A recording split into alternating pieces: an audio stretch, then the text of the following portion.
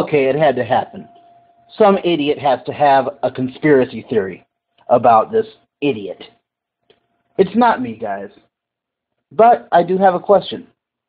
Why can't I read his document the way he wrote it? Why can't I find online a document that includes the names of the officers that he's talking about?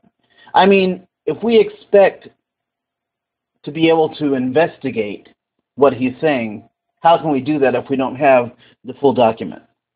Now, I do not justify anything this idiot is doing. But at the same time, don't we deserve to know what he wrote? Why is everything being redacted and X's? I mean, hey, sure, are people in danger? Yeah, they're in danger from that idiot, but not from me, not from the public. So why are we hiding things? This is why conspiracy theories start.